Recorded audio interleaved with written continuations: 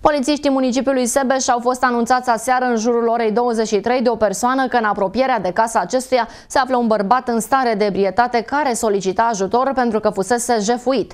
Omul reclamă faptul că prietenul său de pahar i-a furat telefonul mobil și 160 de lei.